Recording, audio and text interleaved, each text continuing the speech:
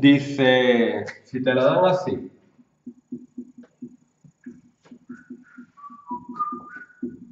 la recta.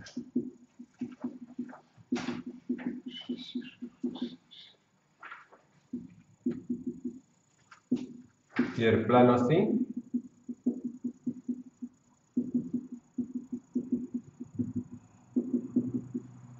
Solo hay que estudiar este sistema. El sistema formado por las tres.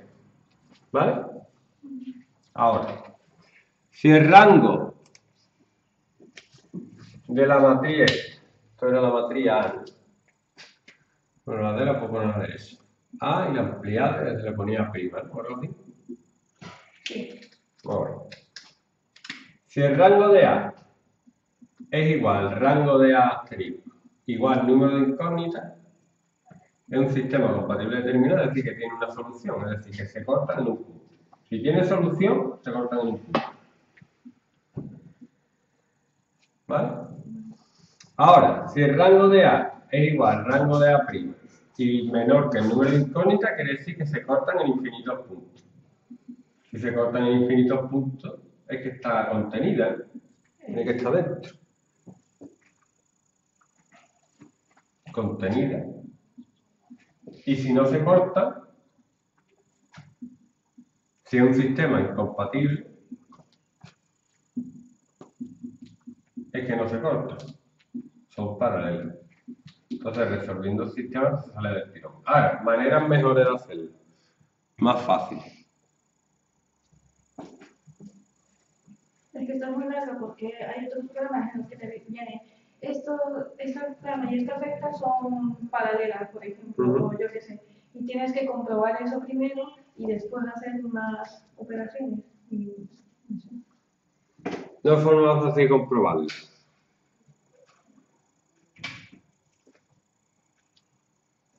Imagínate que tú tienes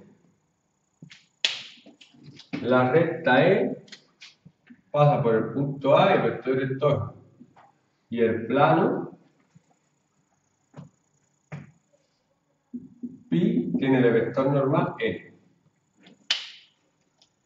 Pues si U por N es igual a cero, ¿qué quiere decir?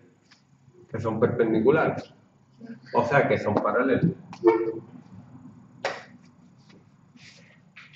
Quiere decir que el vector normal es perpendicular a la recta, pero no a la recta, es decir, que son paralelas a la recta y el plano.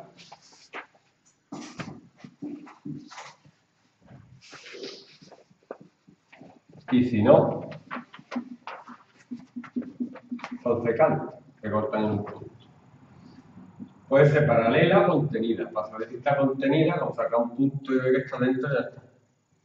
Yo saco un punto a la recta y lo si está aquí dentro. Punto.